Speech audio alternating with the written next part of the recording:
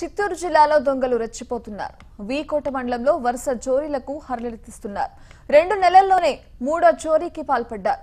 ఆలయాలపైనే కన్నేసిన దొంగలు తాజాగా సాయిబాబా ఆలయంలో చొరబడ్డారు. అరవై వేల విలువైన సొత్తును ఎత్తికెళ్ళారు దీనిపై కేసు నమోదు చేసిన పోలీసులు దర్యాప్తు చేస్తున్నారు.